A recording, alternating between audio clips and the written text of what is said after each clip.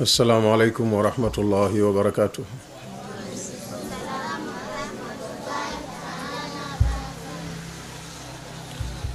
الحمد لله رب العالمين يا رب ارحمنا فإنك بنا راحم.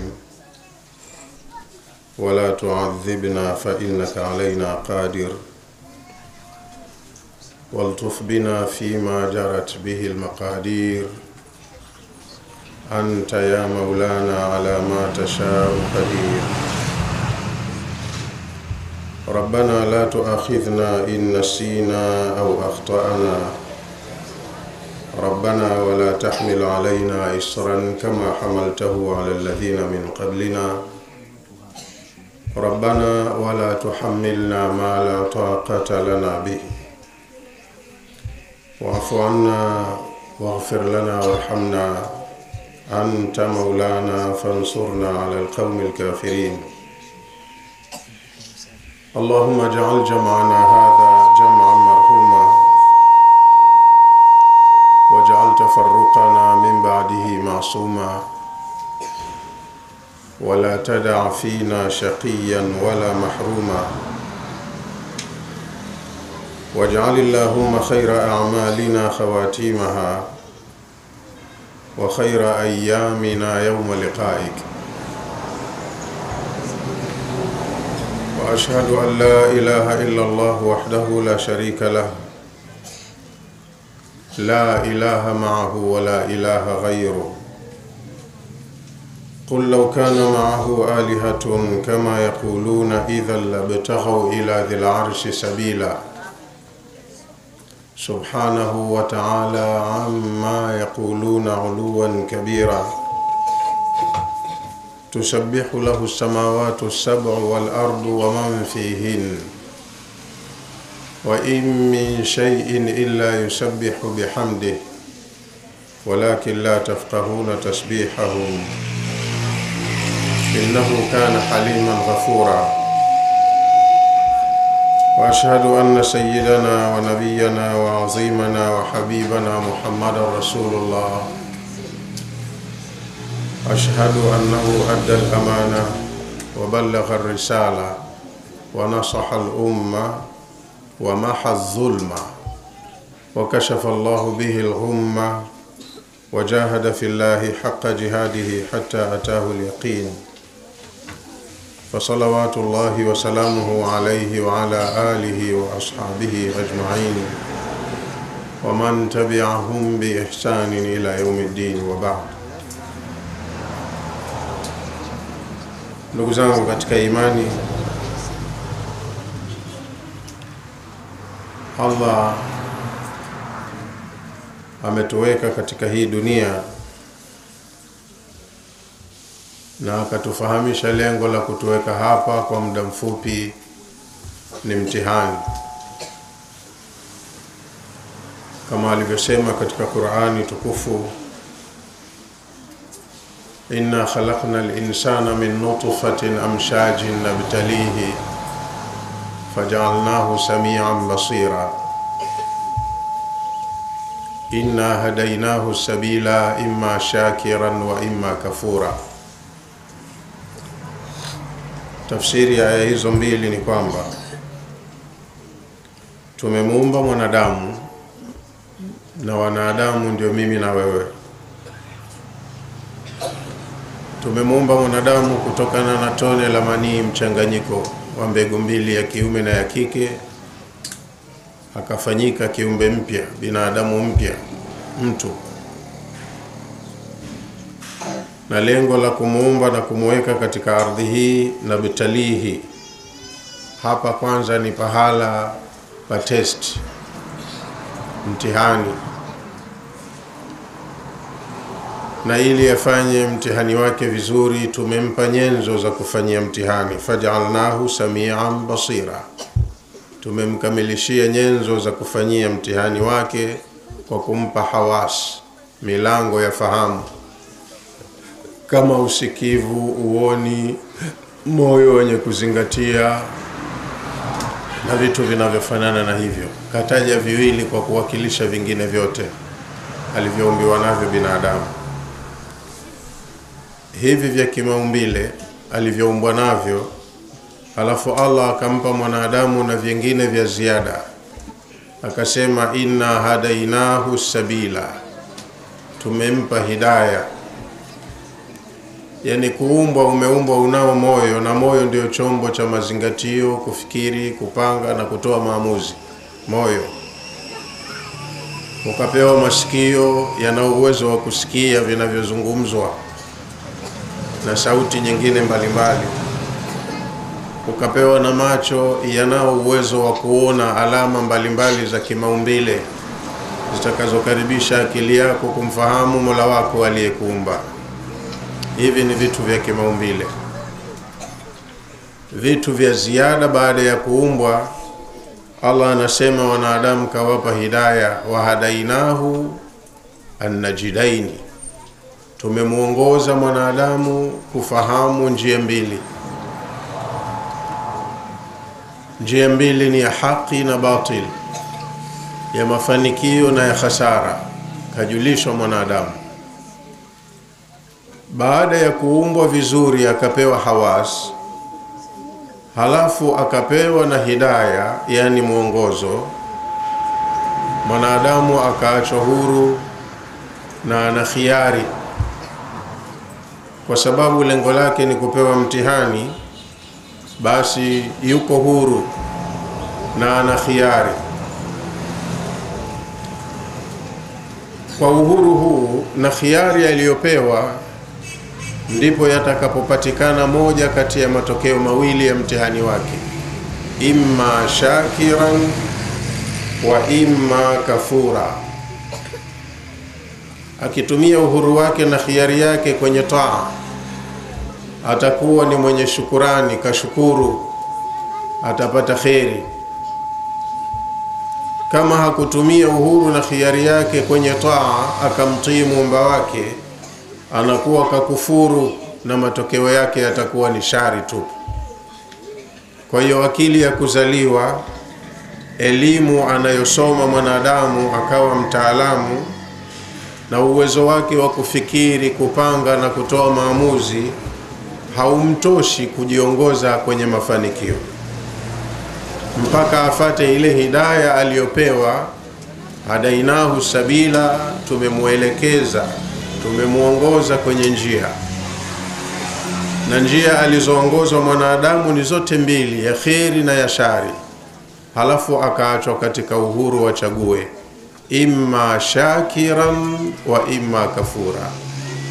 Anaweza akatumia uhuru wake kwa kheri, akawa ameshukuru neema za muumba wake na akapata matokeo mazuri na anaweza pia binadamu kutumia uhuru na hiari yake kwa shari, akaacha ile hidaya akafuata aliyoyapenda mwenyewe mbali na hidaya ya Allah, atakuwa kakufuru. Na kukufuru ni kuyakataa yale ya Allah muumba, akafanya aliyoyakuta kwa wazee wake, aliyoyakuta kwenye mila ya watu wake, au yaliyomo kwenye matamanio ya nafsi yake akayawacha ya Allah muumba akafuata aliyoyapenda zaidi, atakuwa kakufuru ya Allah, hata kama aliyoyapenda yeye kayaona mazuri na yanafuatwa na watu wengi, bado ikiwa hajayafuata ya Allah atakuwa kakosea na kafeli huu mtihani wake.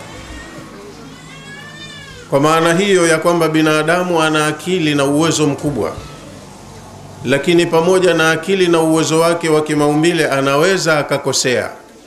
Ndio maana Allah akawa anatuma mitume. Mitume ni wanadamu kama sisi,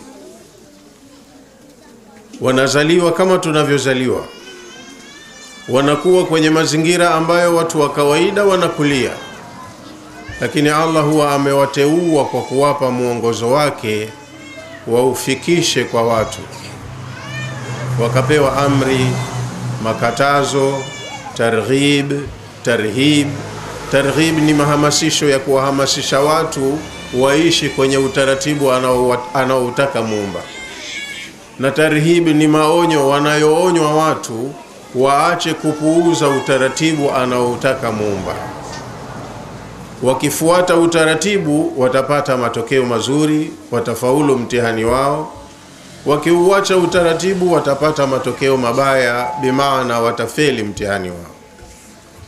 Kwa hiyo wamekuja mitume, wanadamu kama sisi, waliotumwa kwa watu. Lengo kuu la mitume liukhriju nnasa, wawatoe watu min ibadati libadi, wawatoe watu katika utaratibu wa kuwaabudia viumbe, ila ibadati rabbil ibadi, wawaelekeze kwenye utaratibu wa kumwabudia Mola aliyeumba viumbe. Kwa hiyo sisi kama Waislamu, Uislamu ni kujisalimisha kwa Mola aliyeumba viumbe.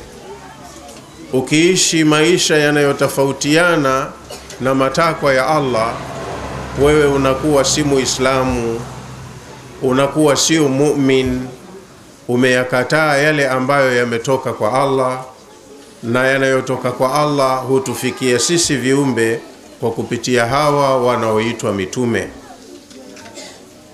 Kwa hiyo tukiadhimisha kuzaliwa kwa mtume, tukamsifu mtume, tunatakiwa bado tusiishie katika kumpenda, kumsifu na kuadhimisha kuzaliwa kwake.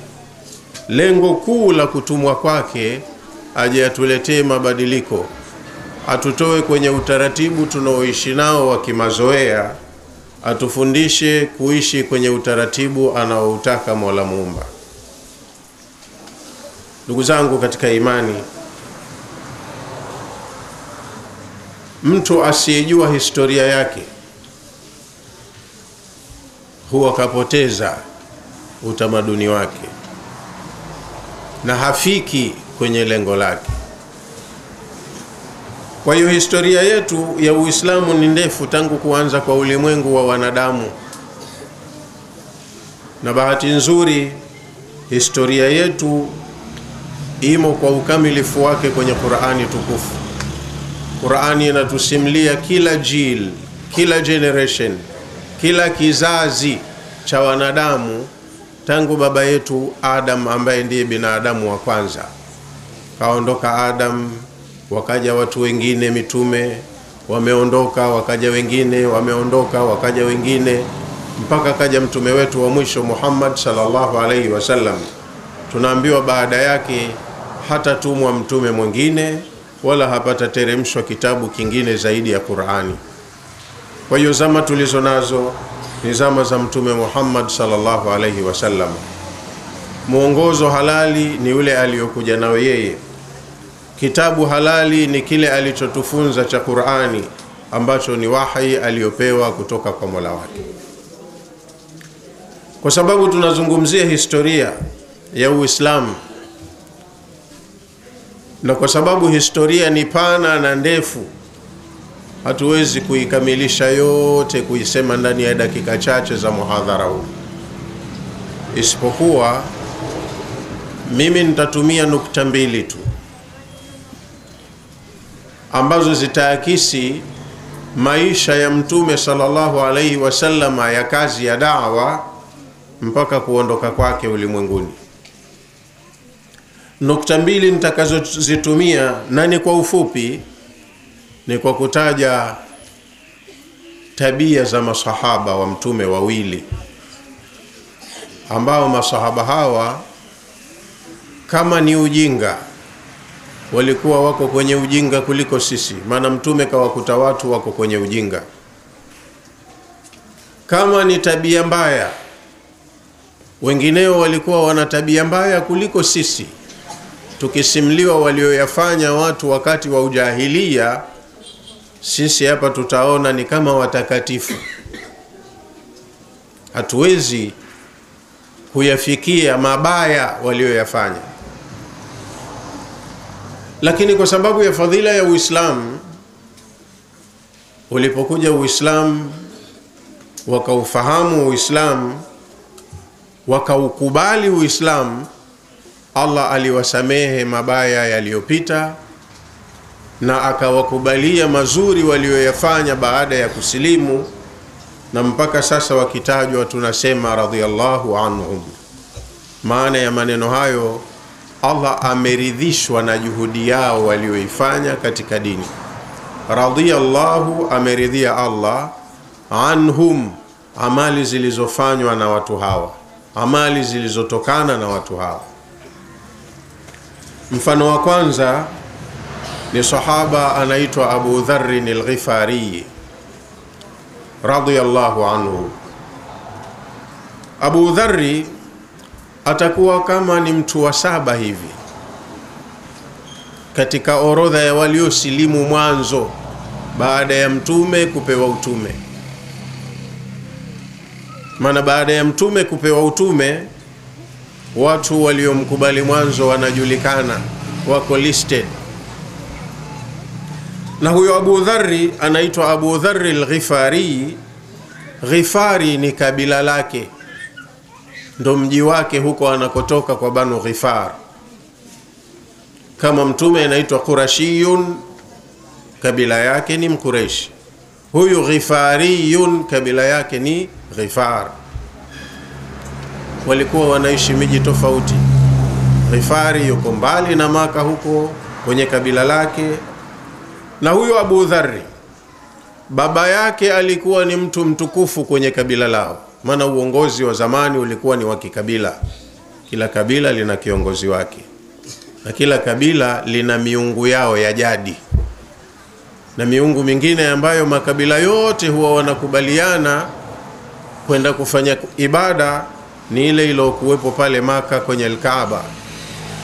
Maarufu ni wanne: Lata, uza Manata na Hubal lakini tunaambiwa wakati mtume anaifungua Maka kwenye tukio la fathu Maka kwenye Alkaaba kulikuwa kuna masanamu zaidi ya mia tatu na sitini. Yapo pale, walikuwa wanaabudu masanamu. Tabia yao kabla ya Uislamu ilikuwa ni ujinga, ni watu ambao hawakuwa na elimu, kwa hiyo wanafanya mambo hivyo hivyo tu kimazoea kwa kutumia akili zao za kuzaliwa. Dini yao ni hiyo ya kuabudu masanamu, lakini masanamu haya yalikuwa sio yanaabudiwa kwamba wenye kuyaabudu wanataka pepo au wanajua kuna maisha baada ya maisha haya.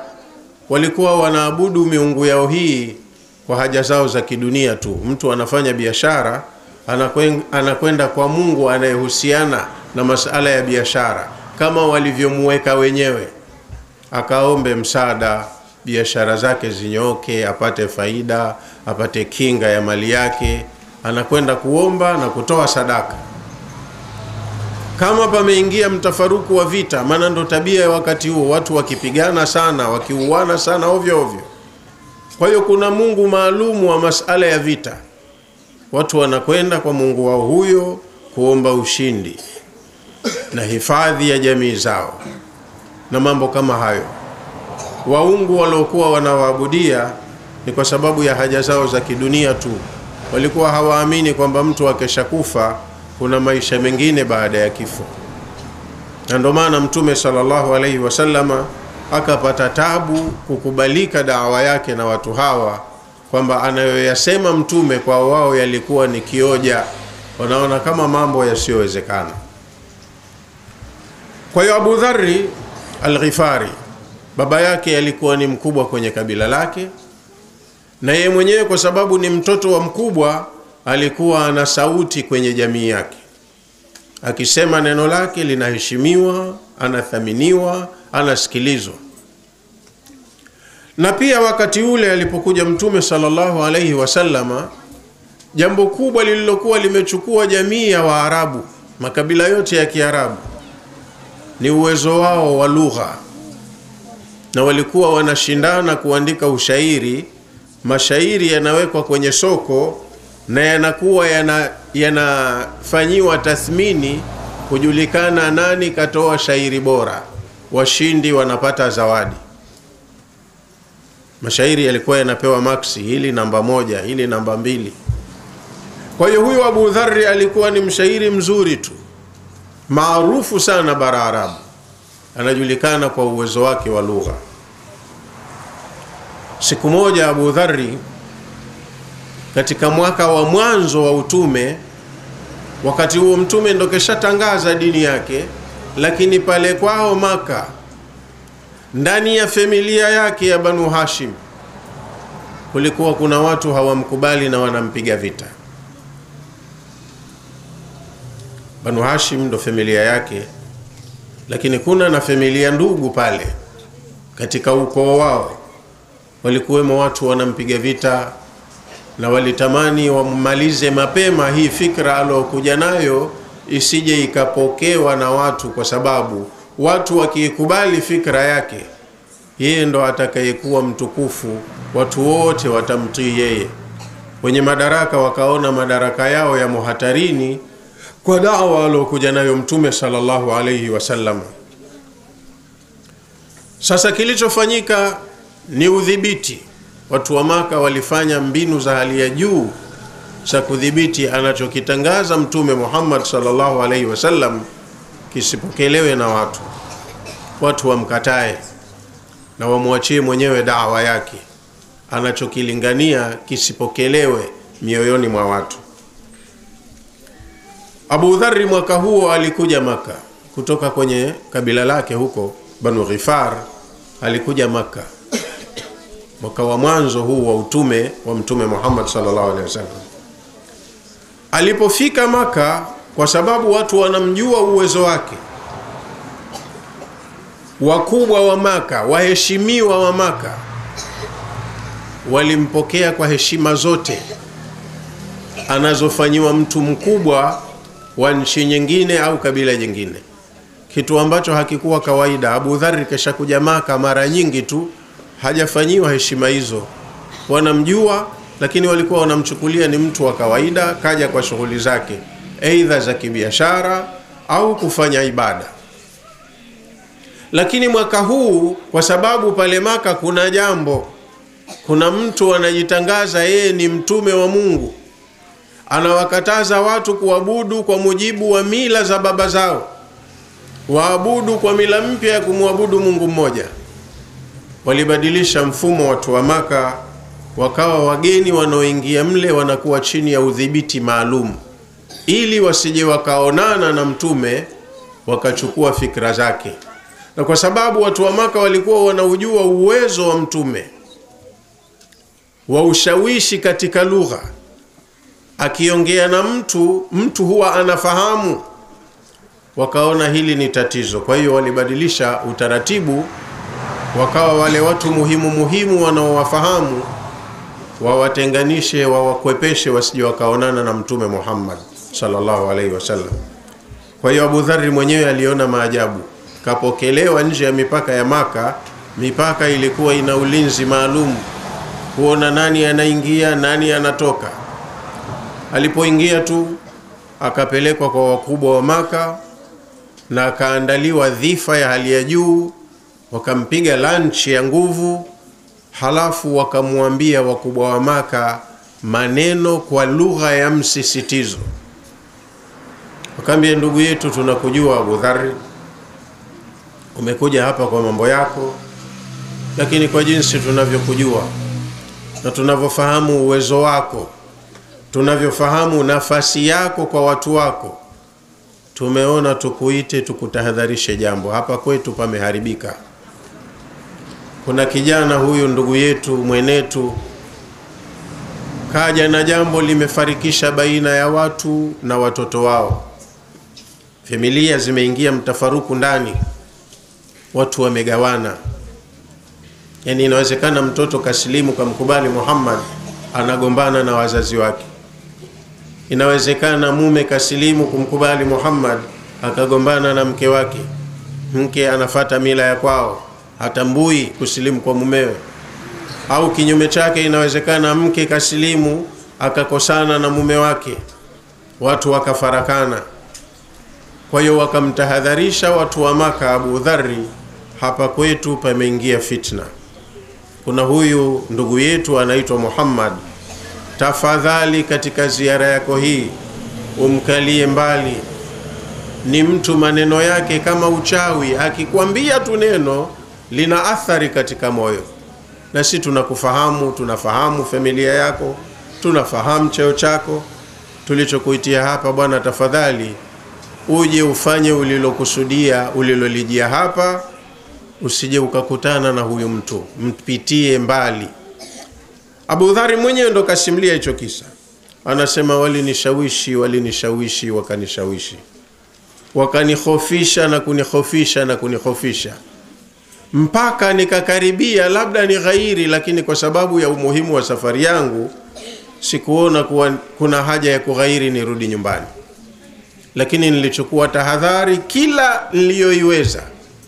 Mpaka nikachukua pamba nikashindilia kwenye masikio yangu yote mawili ili niende kwenye nililokusudia halafu niondoke nirudi zangu nyumbani ikitokezea kukutana na muhammad kwa sababu muhammad na yeye alikuwa hakai mbali na hapo kwenye Alkaaba, na yeye ndipo alipokusudia kwenda kufanya ibada zake. Pamoja na mambo mengine, lazima atufu Alkaaba, aombe baraka za miungu wa Alkaaba, halafu ndo aende zake kwao. Kwa hiyo masikio yake aliyajaza pamba, kaishindilia, hataki kusikia maneno ya mtu mwingine mpaka amalize shughuli yake, arudi zake kwao kwa Banu Ghifar. Alichukua hatua hiyo Abu Dharr, lakini anasema juhudi nimefanya, lakini nilipofika Alkaaba mimi nafanya yangu, Allah alikataa juhudi yangu yote nilofanya kushindilia pamba kwenye masikio, Allah alikataa, ila anisikilizishe tu alichokuwa akikisema Muhammad. Kwa hiyo nimemkuta Muhammad anafanya ibada yake pale, anaswali, anasoma Qur'ani yake kwa sauti. Baadhi ya maneno ya Qur'ani yake yalikuwa yanaingia masikioni mwangu, yakaniathiri niliathirika, ijapokuwa mi nafanya ibada yangu. Na huyo anafanya ibada yake, lakini maneno aliyokuwa anayasema kwenye ibada yake ambayo ilikuwa ni Qur'ani, anasoma kwa sauti, yaliniathiri moyoni mwangu. Mpaka ile nguvu yangu na azma ya kwamba nisionane naye wala nisimsikie ikapungua, nguvu ikapungua. Halafu nikajiambia katika nafsi yangu wakati nafanya ibada zangu, nikajiambia, we Abu Dharri, una nini? We ni mtu mzima mwenye akili yako timamu, alafu ni mshairi maarufu, unafahamu lugha na unao uwezo Abu Dharri wa kutofautisha zuri na baya. Shida yote hii ya nini? Mtu si anasema maneno yake, msikilize maneno yake. Kama yana ukweli, itakuwaje we mtu mwenye akili yako timamu ukatae ukweli na unaujua? Kama yana uongo, we mtu mwenye akili yako utashindwaje kujua jambo la uongo? Abu Dhari mwenyewe akasema hivyo. Basi akafanya ibada yake mpaka akamaliza, na Mtume alimaliza ibada yake mapema kabla ya Abu dhari Mtume alipomaliza akaondoka, akaenda kwenye nyumba yake, na nyumba alokuwa anaishi pale na mkewe Mama Khadija haikuwa mbali na Alkaaba. Ukisimama kwenye Alkaaba unaiona nyumba yake. Kwa Mtume alipomaliza kaondoka pale, kaenda nyumbani kwake. Abu Dharri naye alipomaliza akenda mwenyewe kwenye nyumba ya Mtume sallallahu alaihi wasallam. Haina bodyguard, hakuna ulinzi nje, hakuzuiwa na mtu, pamoja na kwamba kaonywa asimsikilize. Abu Dharri alimfata mwenyewe kwake, kenda kabisha hodi, akapokelewa. Mtume akamkaribisha ndani hamjui mtume huyu bwana ni mgeni na yeye, lakini watu wa Maka wanamjua kwa sababu ya umaarufu wake. Alipofika kwa mtume akajitambulisha, lakini hakujitambulisha kwamba mimi ni nani na ninatoka wapi. Katambulisha shida iliyompeleka pale, kamwambia wewe ndo Muhammad? Mtume akaambia ndo mimi. Wewe ndo nilioambiwa kwamba unafitinisha watu katika familia zao akamwambia hapana hilo suala sifanyi. Fitna ni jambo ovu na sijalifanya na sitalifanya jambo hilo. Akamwambia mimi nilipoingia hapa maka nilikutana na watu wako wakubwa wa mji huu. Fulani na fulani na fulani na fulani. Wakanitahadharisha sana kuhusu wewe. Lakini allah wanamjua allah yupo tangu zamani wakati wa ujahilia. Lakini walikuwa wanaona allah hana mamlaka yoyote na sisi. Sisi viumbe tuna mambo yetu na yeye ana mambo yake. Allah kajua kuumba tu viumbe wenye akili halafu hashughuliki nao. Kwa akasema allah kakataa ila kanisikilizisha ulichokisema. Wakati nimetahadharishwa nisikusikilize unachosema lakini nimeathiriwa na ulichosema hebu sasa nimekuja mwenyewe nifahamishe hicho unachohubiri unahubiri nini? Abu dhari anauliza. Mtume akaambia mi nahubiri uislamu. Uislamu ndo nini? Uislamu ni dini ambayo watu wanatakiwa wajisalimishe kuyakubali maagizo ya muumba wao waache kufata vinginevyo ambavyo vinapingana na maagizo ya muumba wao kwa hiyo alislam huwa listislam lillahi rabbil alamin. Uislam ni mtu kuamua kwa maksudi ajue mimi ni kiumbe nimeumbwa. Na yupo muumba wangu. Ninapaswa niamiliane naye nifanye anayoridhika nayo na niache yasiyoridhika nayo. Ndo uislamu ni amani kujisalimisha.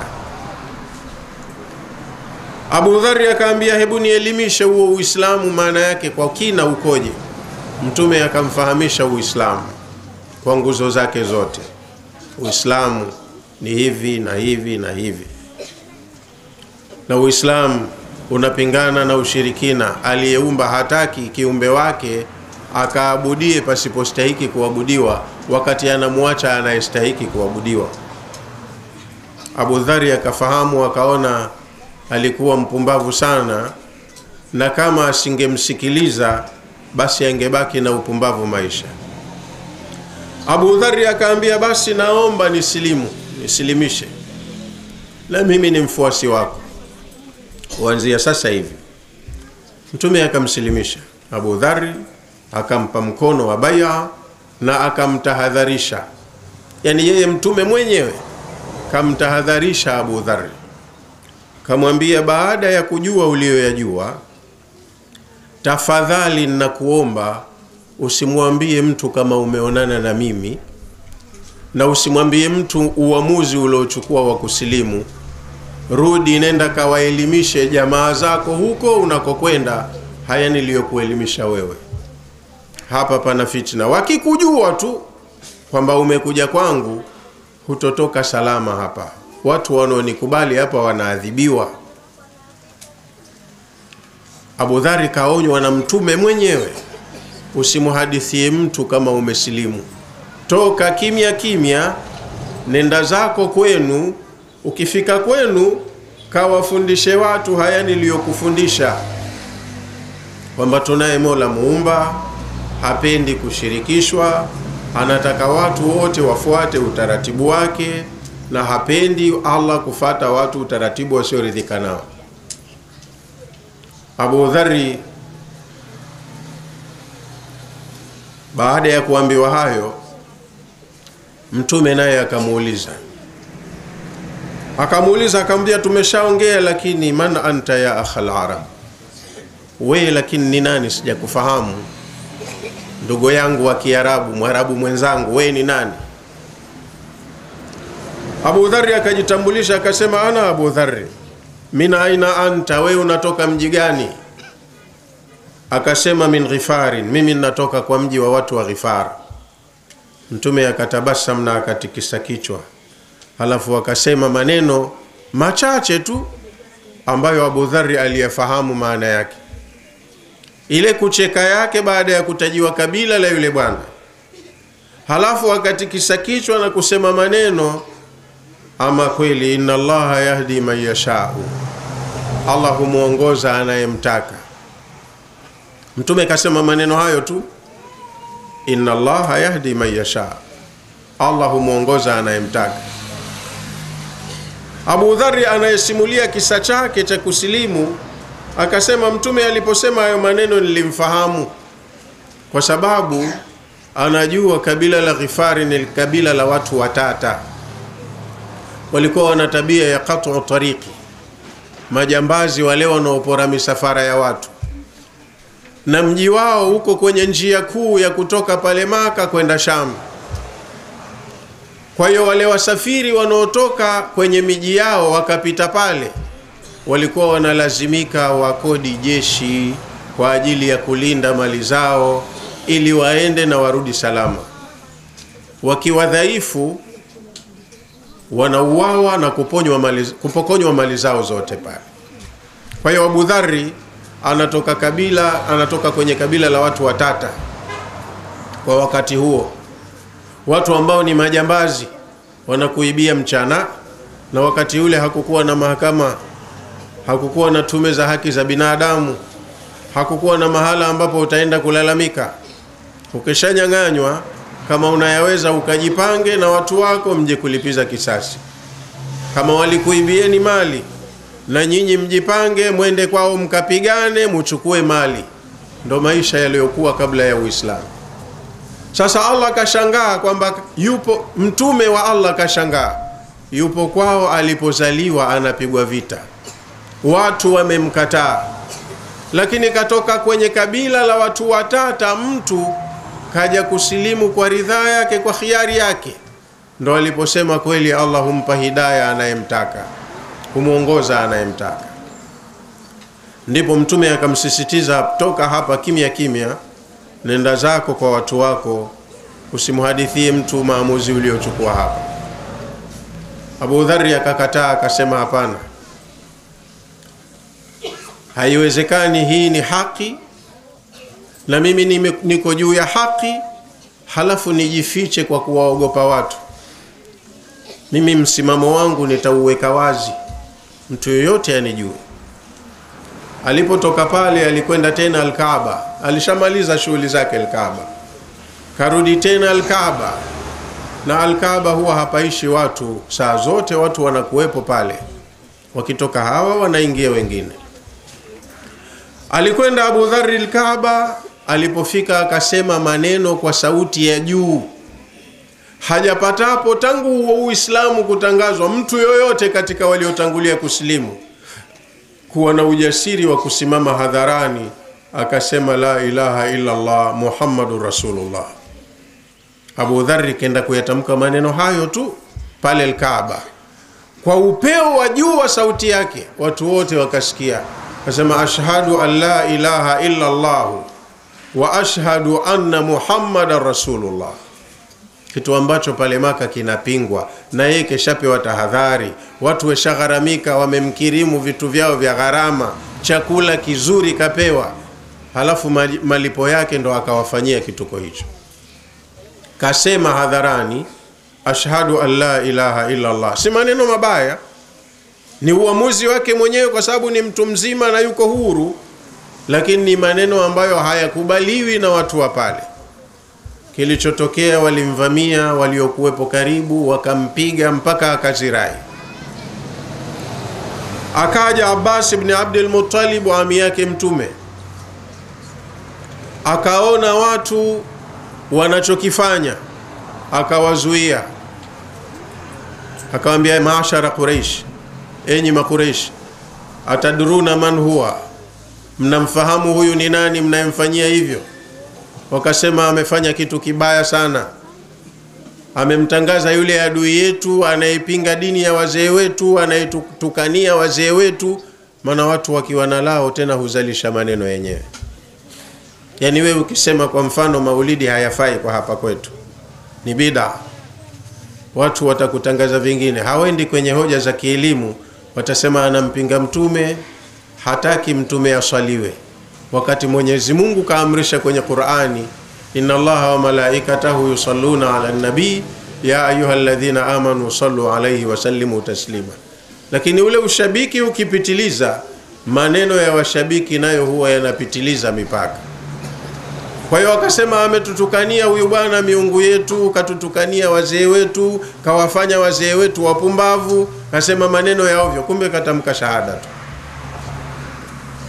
Abasi akamwambia, pamoja na hivyo lakini huyu ni mtu anatoka kabila la Ghifari, pale ndo njiani kwenu, na nyinyi hapa hamlimi mchicha wala tungule, mnategemea maisha yenu biashara na hamna mnapopita zaidi ya mji wao hawa, na mnawafahamu walivyo. Wakisikia Ghifari mmempiga mtu wao kiasi hichi, na ikitokezea akauawa huyu, nyinyi mna salama na Ghifari mnawajua. Mi nakushaurini aliyoyasema mwachieni mwenyewe, mtoweni arudi zake kwao. Ndo watu wakaacha kumpiga Abu Dhari. Kila aliyesilimu wakati ule alionja maafa, mpaka Abubakari. Hata mtume mwenyewe kafanyiwa maudhi. Sembuze tena wale wengine waliokuwa hawana kinga, hawana jamaa, watumwa wa watu kama kina Bilali, mnasikia yaliyowafika kwa sababu ya kusilimu tu. Abu Dhari naye kaonja sunna hiyo, walimfanyishia watu wa Maka. Kwa sababu ya uchovu na maumivu, akashindwa kuondoka siku ile Maka, akalazimika alale Maka. Kalala Maka mpaka asubuhi, yashapungua maumivu, akarudi tena kwa Mtume sallallahu alaihi wasallam kuelezea kilichomfika. Mtume akamwambia lakini si nilikupa angalizo nikakwambia usimwambie mtu msimamo wako, uondoke salama kimya kimya, uende kwenu? Akasema siwezi kufanya hivyo mimi ya rasulllah mimi ni mtu mzima na akili yangu timamu. Nilichokifanya sio matusi wala sijamdhulumu mtu, nimetangaza msimamo wangu. Kwani wewe si mtume kweli? Ndio, mimi mtume. Unachohubiri si haki? Ni haki. Basi siwezi nikaondoka hivi hivi tu, lazima watu wajue msimamo wangu. Mtume akamwombea dua, halafu akarudia kauli yake kum, kumnasihi Abu Dharri, ondoka kimya kimya, rudi nyumbani, nilichokufunza kawafundishe watu wako. Akamwomba Mtume, basi naomba unipe ishara na uwaombee dua watu wangu, nikifika wanifahamu kwamba ninachoongea ni haki. Mtume akamwombea dua akaenda zake, lakini kabla ya kwenda zake hiyo siku ya pili akarudi tena Alkaaba kama jana yake hivi alivyofanya. Aliporudi Alkaaba, kando kidogo kama mita chache tu kutoka kwenye Alkaaba kuna mlima Safa, na baada ya mlima Safa kama mita mia tano mpaka mia sita kuna mlima mwingine Marwa. Hapa kwenye mlima Safa juu yake palikuwa pana sanamu linaitwa Naila, na kwenye mlima Marwa juu yake kulikuwa kuna sanamu linaitwa Naila. Wenyewe walikuwa wanafanya sai pale, washirikina baina Safa na Marwa. Wakija Safa wanamuomba haja zao Mungu wa pale Safa, na wakienda Marwa kuna Mungu mwingine juu ya mlima pale wanamuomba haja zao Mungu wa Marwa. Kwa hiyo Abu Dhari akaona juu ya mlima Safa kuna mwanamke anaomba, analiomba sanamu lililopo pale, na akaangalia kwa mbali kwenye mlima Marwa kuna mwanamke anaomba, analiomba sanamu liliyoko pale. Akasema siondoki mpaka niwalinganie hawa wawili hawa. Kaambiwa aondoke kimya kimya, lakini moyo wake ulikuwa mgumu, haumkubalii anataka lazima aache athari. Akamwendea mwanamke aliyopo kwenye mlima Safa, akamlingania Uislamu. Na akamwambia ubaya wa kuabudia masanamu, kwa sababu keshafahamishwa na Mtume, kataka na yeye awafahamishe wenzake wale, japo hawa ni Makureshi, yeye ni mtu wa Ghifari, lakini kajua kwa athari ya imani aliyokuwa nayo na jukumu alilotwikwa kwamba na wewe uwe mlinganiaji, sema naanza hapa hapa kukomesha batil. Hawa wanawake walipolinganiwa wakapiga yowe la kuomba msaada. Samanini, nitoe mfano, nadhani utasogeza akili zenu karibu, maana kwenye mifano ndo watu ufahamu. Mtu akiomba msaada Kwa mfano hapa watu wote wana athari ya kuibiwa, halafu watokee mtu, watu wa hapa washaibiwa sana, aseme mwizi, jamani, mwizi. Hasira za watakaosikia yowe watatoka kuja kumshughulikia mwizi. Au mfano mwingine, siku hizi umeenea hapa, watu wakikuchukia wanakupa kesi ya udhalilishaji wa kijinsia kwamba huyu bwana kabaka na kafanya vibaya kwa aliyembaka. Hatua itakayochukuliwa kwanza, wewe unaenda mahabusu bila kuulizwa na haina dhamana. Kwa hiyo wale wanawake, wanawake tunajua udhaifu wao, wakiomba msaada watu wataamini wametendewa vibaya, wakakusanyika Makureshi kuja kusikia, kuja kutoa msaada eneo la Yowe. Walipofika wakamkuta Abu Dharri anawalingania wanawake. Wanawake wakasema, huyu hakututendea haki, katudhulumu. Alipigwa kipigo kuliko cha jana, akazirai tena mara ya pili pale pale Abu Dharri, mpaka Mtume zikamfika taarifa, yule mgeni wako bwana, njoo useme naye, watamuua jamaa. Mtume akaja akamkuta na akayaona yaliyomfika, kapigika vibaya.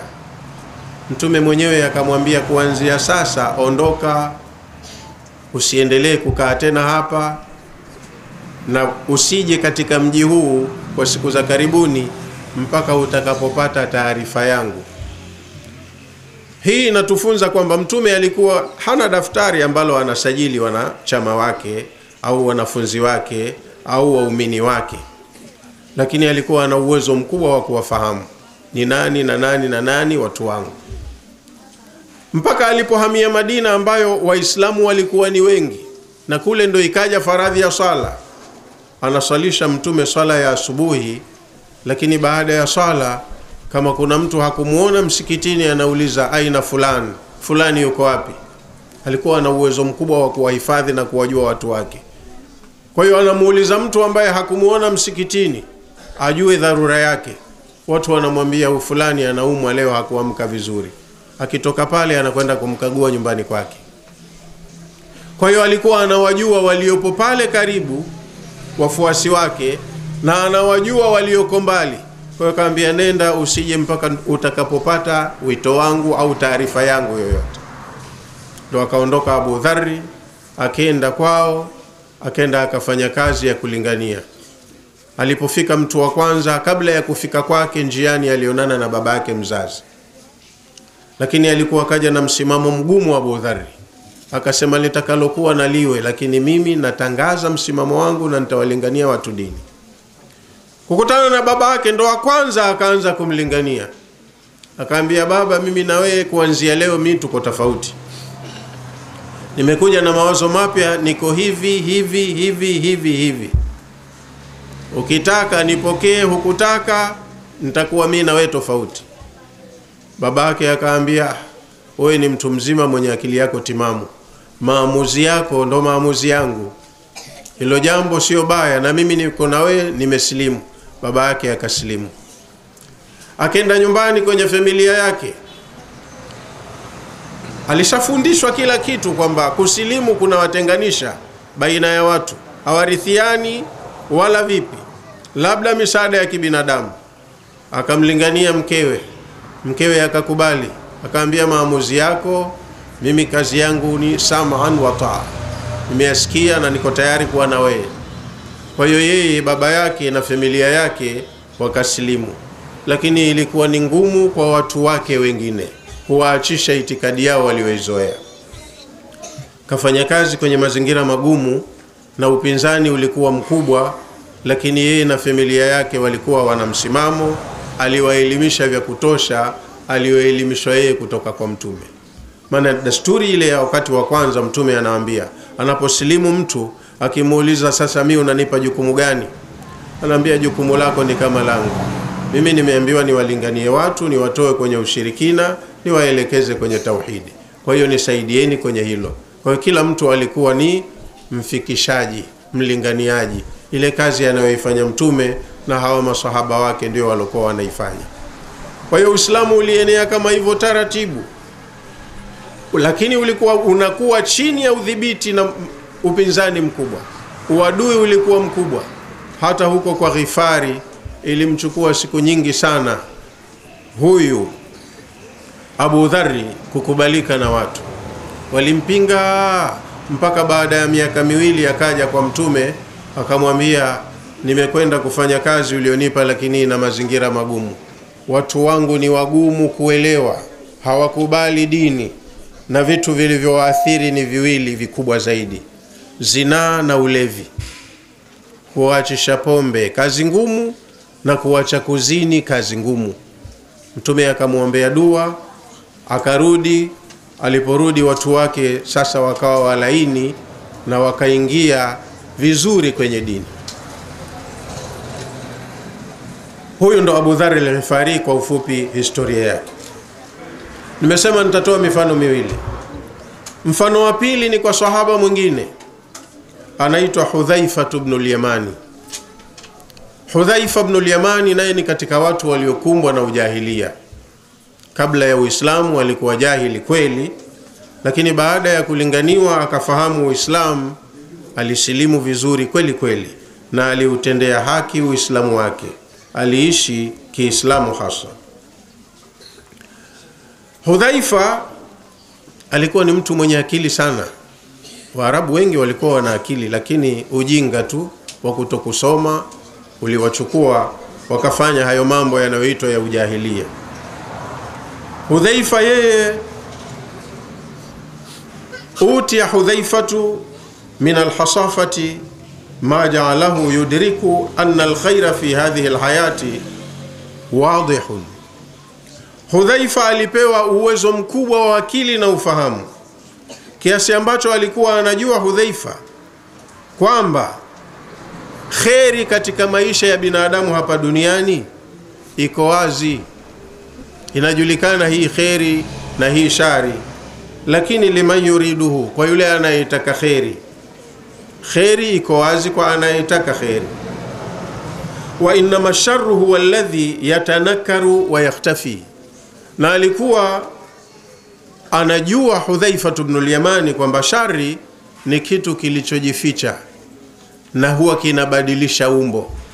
Wakati mwingine watu huing'ang'ania shari lakini akili zao zote zikawaambia hii ni kheri kumbe wako kwenye shari. Aliposema yatanakaru maana yake atanakuru ni kubadilisha sura. Kama vile mtu unayemjua ukamkuta kavaa soksi au vizoro usoni anafanya matukio na wewe humtambui huyu ni nani. Kule kuficha sura ndo inaitwa tanakur. Kwa hivyo shari siku zote ipo na watu lakini huwa ina tabia ya kujificha inabadilisha umbo. Unaweza ukakaa nayo shari na huku wewe ukawa una uhakika uko kwenye kheri. Unaweza ukakaa kwenye maafa ukawa una uhakika mwenyewe uko salama. Wa min thamma basi kuanzia hapo alipofahamu hudhaifatu al-Yamani, sahaba mwingine huyu.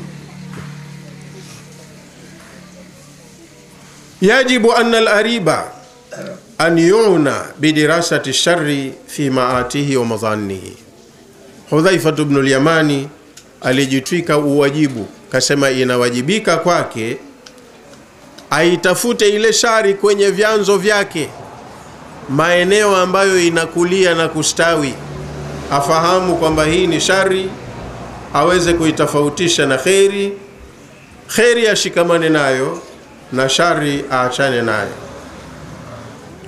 hudhaifa mwenyewe anasema yaqulu fi kalamihi alikuwa anasema katika maneno yake.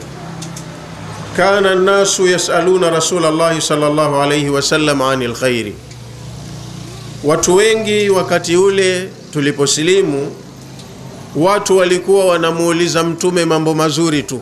Habari ya peponi mambo ya biashara na uchumi mambo ya madaraka na mambo mengineyo wakiuliza watu kwa mtume walikuwa wanauliza mambo mazuri mazuri tu ya kheri.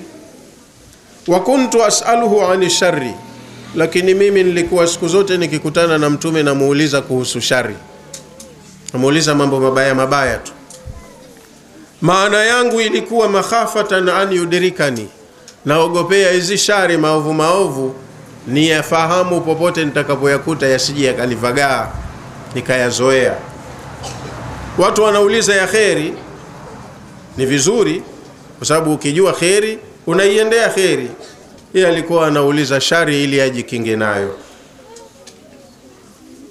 Qultu anasema hudhaifa siku moja nilimwambia mtume nilisema hivi ya rasulllah ewe mtume wa allah inna kunna fi jahiliyatin wa sharrin. Sisi masahaba wako tulikuwa tunaishi katika ujahilia na shari kwa muda mrefu kabla ya uislamu. Fajaana llahu bihadhihi lkhair hatimaye allah ametuletea kheri hii ya uislamu. Fahal bada hadha lkhairi min sharrin? Nachokuuliza je baada ya kheri hii uliotuletea itakuja tena shari yaani jinsi watu sasa hivi walivyofahamu haki wanavyokaa kwenye maadili wanavyomwogopa allah wanavyofanya mazuri walivyokuwa na manufaa kwa wengine utamaduni huu mpya uliotuletea utaondoka huu au watu wataendelea nao tena mpaka kiama? Ndo swali lake. Manake mtume tumeambiwa ni mtu. Mtume naye atakufa kama wanavyokufa watu wengine. Mtume umri wake mkubwa kuliko hawa baadhi ya masahaba wamesilimu wao wadogo wakasema tuulizie je baada ya kuondoka mtume ile shari itarudi tena au watu watakuwa weshafahamu wataendelea kwenye kheri? Hudhaifa anasema alikuwa anauliza masuala ya aina hiyo kuogopea kama umri wake utakuwa mrefu yatakapokuja kutokezea mageuzi kile alichokiweka mtume kikiondoka yeye achukue hatua gani? Kwa hiyo kauliza baada ya kheri hii uliokuja nayo kuna shari itakuja? Qala naam. Mtume akamwambia naam hilo ni jambo la kawaida. Hichi nilichokuja nacho hichi kitakuja kuharibika muda mdogo tu nikiondoka.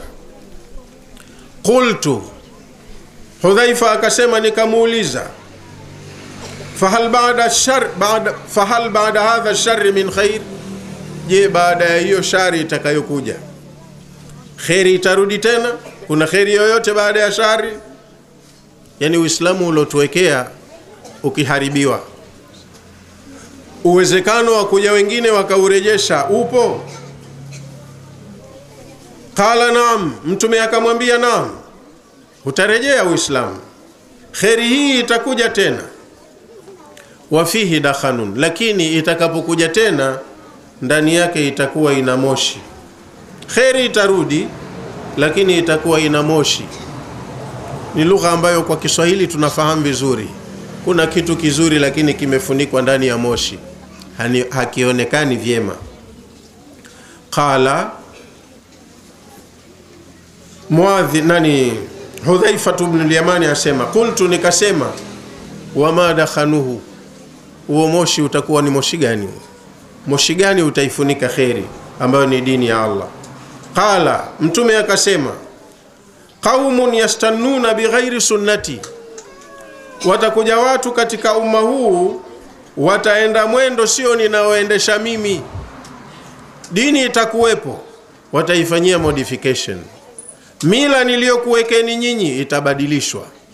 Ustaarabu utakuwa mwingine. Ndo moshi wenyewe.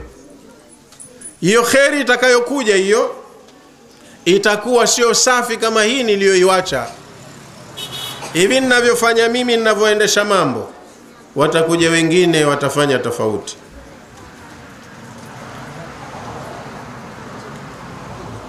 duatun watakuja walinganiaji. Allah atuhifadhi sisi tusiwe katika hao.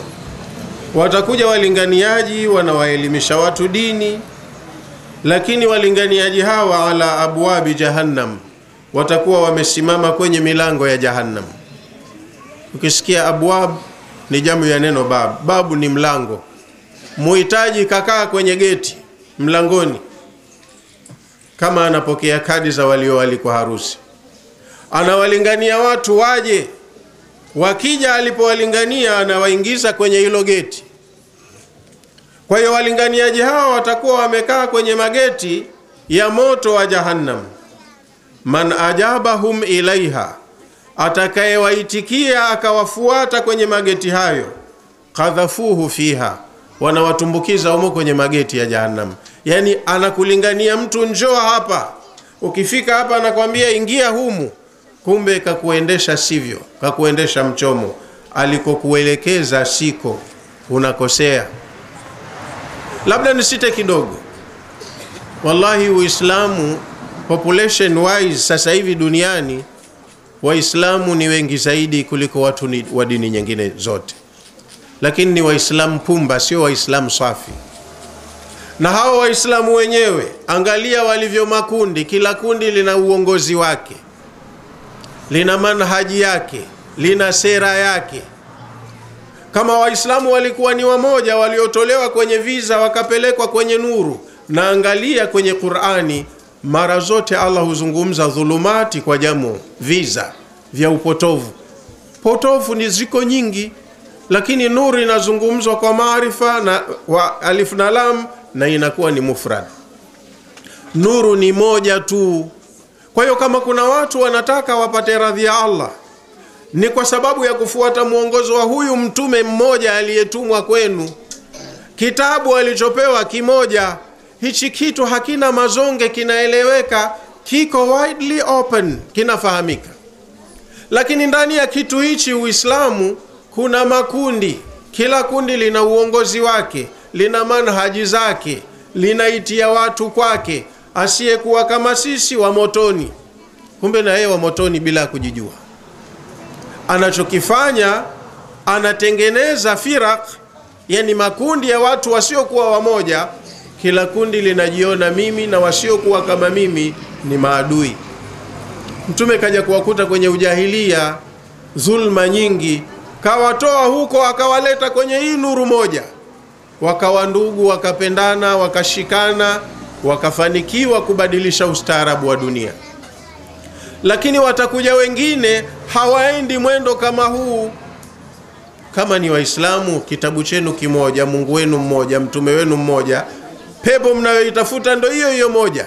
Prosija za kukufikisheni huko mmeekewa na huyu mtume wenu. Hata alipoondoka kabla ya kuondoka katoa wasia akasema kunu ibadallahi ikhwana enyi waja wa allah kuweni ndugu. Msije mkabadilika baada ya kuondoka mimi mkaingia kwenye ukafiri mkafika katika hali ya kukatana shingo mkauana wenyewe kwa wenyewe. Kwa hiyo hawa ndo aliowataja mtume kwamba watakuja watu wairejeshe dini. Lakini dini hiyo itakayorejeshwa itakuwa ni ya shari haiko safi kama hivi nilivyoiwacha. Itashikwa na walinganiaji watakaa kwenye mageti ya jahannam wawaite watu. Sasa wewe uta, mpaka utachanganyikiwa. Sasa mie niwe nani? Nifate kundi lipi? Nimfate imamu yupi? Wote ni waislamu wanasema la ilaha illallah lakini waislamu hawa anakwambia akina fulani wamepotea akina fulani watu wa motoni akina fulani watu wa wapi. Ukitaka salama yako urudi kwa allah utufate sisi. Hasa kumbe na yeye ana manyago yake hayaoni. Kwa hiyo kile kitu pyua alichokiacha mtume kimeingia mshabaha. Watu wanachanganyikiwa. Walinganiaji kila mmoja anaitia kwake na huko kwake hakuko salama. Kasoro alizonazo yeye hazioni hichi ndo alichotahadharishwa huyu hudhaifatu bnu lyaman qala akasema hudhaifa maana alikuwa anataka hii darsa aifahamu kwa kina. Qultu nilimuuliza mtume ya rasulllah ewe mtume wa allah fama taamuruni in adarakania dhalik? Unaniamrisha nini kama mimi nitakuwa hai mpaka nikafika wakati yakitokea mambo hayo? Mimi nichukue msimamo gani na hudhaifa alikuwa mpiganaji mzuri. Nishike silaha nipambane. Nifanye nini? Niamrishe. Qala mtume akamwambia hapana usipigane ikitokezea mchafuko kama huo. Mambo haya ya shubha Waislamu hawatakiwi kupigana wenyewe kwa wenyewe. Ikitokezea umefika wakati umri wako mrefu mpaka yakajiri hayo, hatua ya kuchukua ni wasia Mtume anampa Hudhaifa, talzam jamaata almuslimina wa imamihim, watafute wale Waislamu wa kweli walioshikamana, uwe chini ya kiongozi wao. We unafahamu Uislamu wangu mimi, unaujua kweli na uongo unaifahamu. Tafuta waliokuwa wakweli zaidi katika hao waliotofautiana, ukae chini ya kiongozi wao. Wala wewe sio udai uongozi, wewe kuwa mfuasi, kaa chini ya kiongozi wao, wale waliokuwa wanaongoza kwenye dini kweli. Jawabu ya Mtume kumjibu sahaba wake, talzam jamaat almuslimin, jifungamanishe na kundi la Waislamu wa kweli, wa imamihim uwe chini ya kiongozi wao, mpe baya kiongozi wao, ufuatane nao. Wale wenye shubha, wenye matatizo utawajua, kwa sababu wewe unafahamu.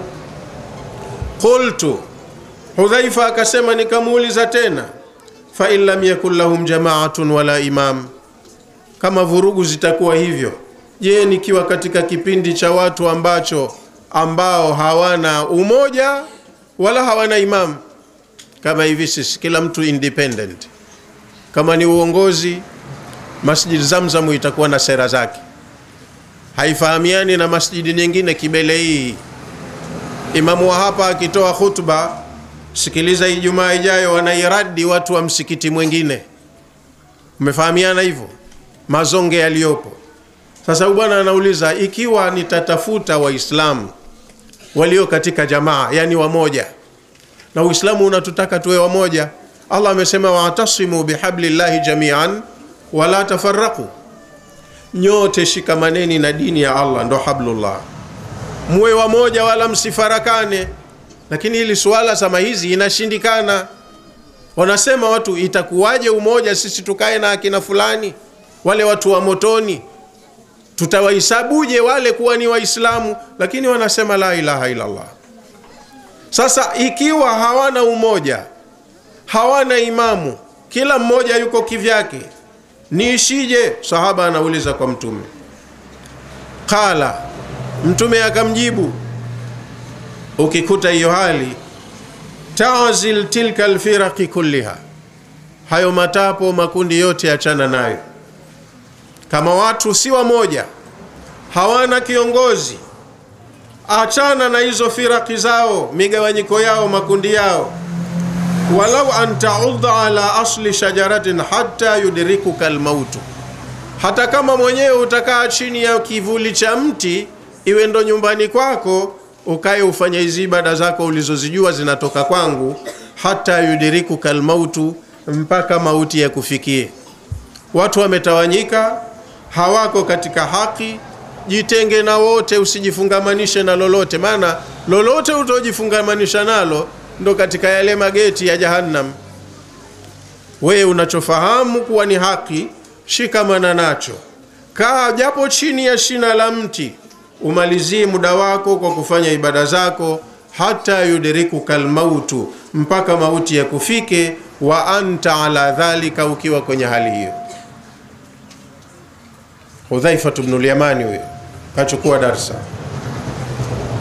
Ukifanya hivyo ndo salama yako, umejiweka kwenye safe side.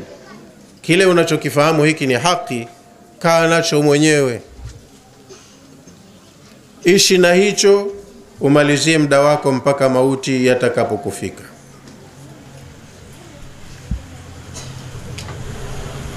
Araaitum qaulahu Munaiona kauli yake Hudhaifa, kauli aliyoisema wakati anasimlia kisa chake, kasema kana nasu yasaluna Rasulallahi sallallahu alaihi wasallama anil khairi, watu mara nyingi wakikutana na Mtume walikuwa wanamuuliza mambo ya kheri. Wa kuntu asaluhu ani shari, lakini mimi nilikuwa ninamuuliza yale mambo ya shari shari, makhafatan an yudrikani kwa kuogopea yasije yakanifika mambo hayo ya shari. Picha aliyoizungumza mtu katika karine ya kwanza ya Uislamu inajitokeza leo wakati tupo katika karine zaidi ya 15 au ka, karibu 15 imejitokeza. Waislamu ni wengi inashindikana kukaa wakaongea kwa hoja za kitabu chao wenyewe kwa mwongozo wa mtume wao wenyewe wakatengeneza umoja wao wakawa na jamii inayoheshimika. Kilichopo sasa ni uadui baina yao wenyewe kwa wenyewe na ukishtadi uadui wanachongeana wanasalitiana kwa adui asiyekuwa na dini.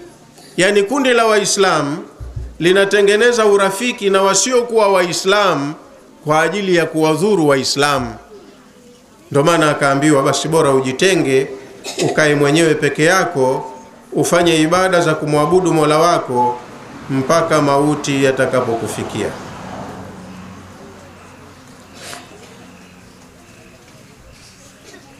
laqad asha hudhaifatu ibnu lyamani aliishi sahaba huyu hudhaifatu ibnu lyamani maftuhu lbasari walbasira. Muda wote aliyoishi alikuwa macho yake yako wazi na moyo wake uko wazi. Yaani anakuwa muangalifu sana kuangalia mitelezo ya watu na ile mwanzo wa watu kuanza kutoka kuiacha haki na wakaelemea katika kufata na kutekeleza maagizo ya batil. Alikuwa ana uoni mpana wa macho yake na moyo wake ala maati lfitan kuangalia kutrace mwahala ambapo huwa ndipo zinapoanza fitna. Watu kugawana wakaiacha dini wakafanya vitu vingine wenyewe wakiona ni dini kumbe wanaikosea dini. Kaishi muda mrefu na alikuwa mwangalifu wa kuona jinsi watu taratibu walivyokuwa wanaharibikiwa na dini yao baada ya mtume.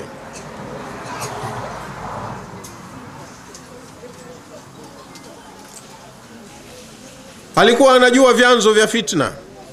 Wanaanzaje watu kuharibika? Anafanya lililo ndani ya uwezo wake kwa kuwalingania kuwaonya. Akiweza fahuwa lmuradi akishindwa anawaacha kama walivyo wa masaliki shari vyanzo vya fitna wa masaliki shari alikuwa anaangalia mapito mabaya ya shari liyattakiha ili yeye ajiepushe nayo. Kaishi kwa tahadhari sana huyu bwana muda wote mpaka akafa. Waliohadhira nasa minha lakini hakukaa peke yake. Ikimkinika alikuwa anasimama kutoa tahadhari kuwatahadharisha watu na kwa sababu anajulikana huyu ni sahaba aliishi na mtume watu wengi alikuwa anawasaidia kwa kufahamu ukweli kwamba hichi sicho haki hata kama watu wanajiona wako kwenye haki lakini wamepotea. Yeye alikuwa anaongoja anaongea na watu kwa hoja za qurani na sunna. Walaqad afaa alaihi hadha basaran bidunia wa khibrata nnasi alikuwa anaishi katika mazingira ambayo yeye ni mtu mwenye kuwana kama kashika tochi kuwaangazia watu waone maharibiko na madhara ya dini yao kwenye dunia hii na pia wajue kuunga pale walipoharibu. Hapa mmeharibu panatengenea hivi. Wa maarifatan bizaman na pia alikuwa ni mwerevu anajua tofauti ya mabadiliko ya watu kadiri zama zinazoenda. Wa kana yudiru lmasaila fi fikrihi wa aqlihi. Alikuwa anajiuliza mwenyewe mara nyingi kwenye fikra zake na akili yake. Hudhaifa bnu lyamani huyu.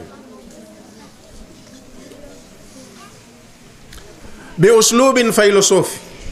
Alikuwa anatumia uslub wa mtu mwenye elimu ya falsafa alikuwa ni kama filosofa hivi anaishi. Wa hasafatin hakim alikuwa ni mtu mtambuzi anatumia akili yake kwa hikma kaishi. Wengine walikuwa ni masahaba kama yeye.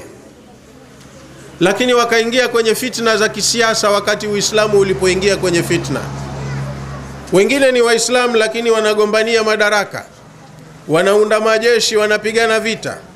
Hudhaifa yeye alikuwa hafungamani na upande wowote anatoa nasaha na kuwaelekeza watu jamani hapo mnakosea kwa mujibu wa Qur'ani na kwa mujibu wa Sunna.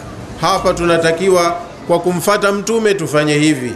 Walikuwa wananufaika wenye akili na ukuwepo kwake wakati alipokuwa yuhai, aliwaelekeza jinsi ya kutatua matatizo yao bila kukosea kwa Allah subhanahu wa ta'ala. Wa yaqulu radiyallahu anhu, Hudhaifa radiyallahu anhu alikuwa anasema inna الله ta'ala ba'atha Muhammadan sallallahu alayhi wasallam, hakika Allah mtukufu. Amemtuma kwetu Muhammadin sallallahu alayhi wasallam, fadaa nnasa min ad-dalalati ila al-huda, akawalingania watu kuwatoa kwenye upotovu akawaelekeza kwenye uongofu. Wa min al-kufri ila al-imani, mtume huyu katumwa aje awatoe watu kwenye ukafiri awaelekeze kwenye imani, wawe na imani ya haki mbele ya Mola wao.